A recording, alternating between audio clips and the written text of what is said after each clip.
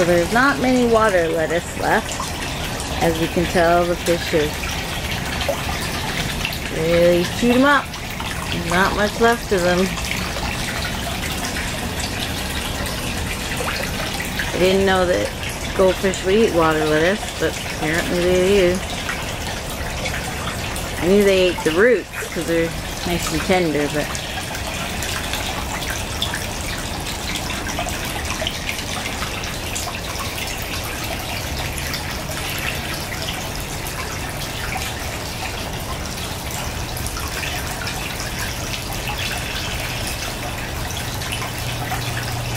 There's my six fish and they're doing great.